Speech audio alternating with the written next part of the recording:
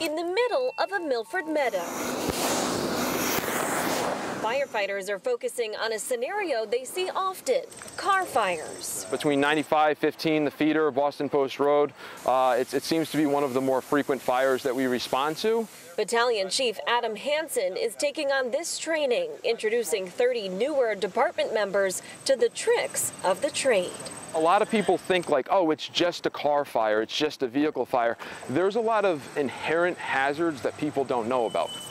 There's magnesium in the cars that can go off, the tires themselves can pop, the windows can blow out.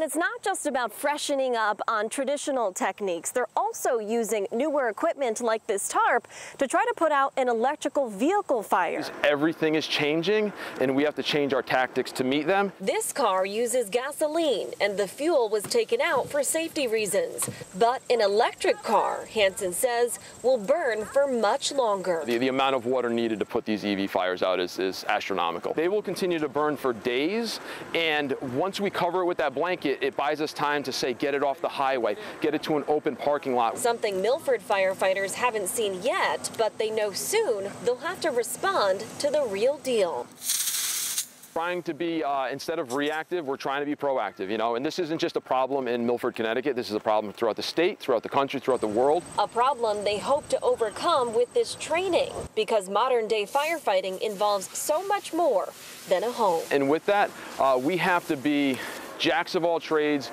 and masters of all. In Milford, Julia LeBlanc, Fox 61, Connecticut's news station.